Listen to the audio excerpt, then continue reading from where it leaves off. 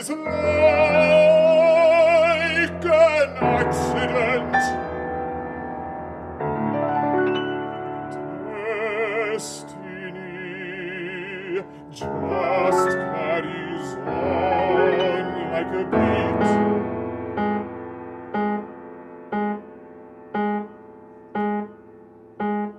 The